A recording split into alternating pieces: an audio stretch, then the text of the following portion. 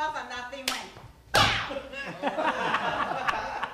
Girls, let me tell you something. If you're ever making love to a guy and he My, my, uh, my, I asked my dad, I said, Dad, did you, did you ever go to Woodstock? He goes, you mean the Peanuts character? I'm like, no.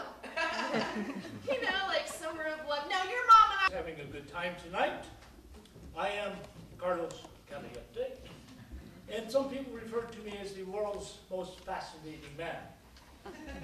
But it's just because of this book I wrote. Ooh, and ah, about three inches.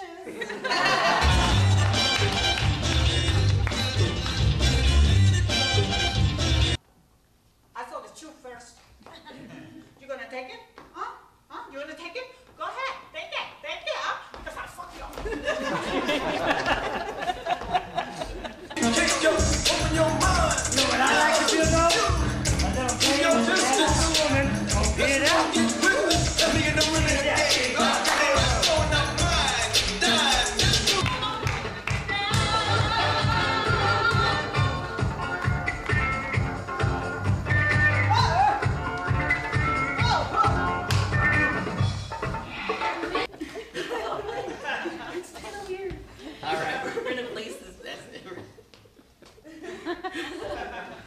enjoying himself way too much. All right.